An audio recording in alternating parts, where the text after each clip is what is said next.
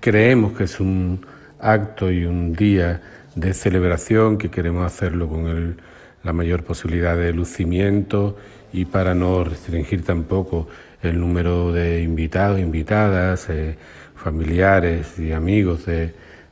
las personas que han sido honradas con la distinción de predilecto y de adoptivo,